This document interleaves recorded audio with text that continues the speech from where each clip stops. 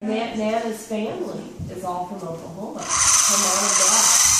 Whoa, all the way from Oklahoma. She got cancer on top of their car. All the way to California. For her dad. Good job.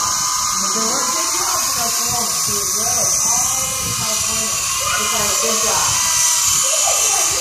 Right. So see where this kind of goes in, right, like this was Missoula's right here. Right, right there. Right there's. Hey,